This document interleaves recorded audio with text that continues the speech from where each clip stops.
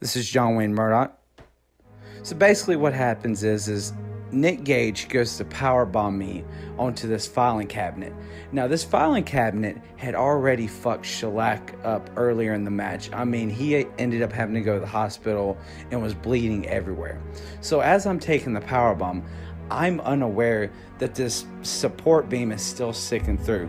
So, as I hit, it just shoots up by my ribs. Thank God it didn't go through me because I think I would have been on my way to the ER right along with Shlak.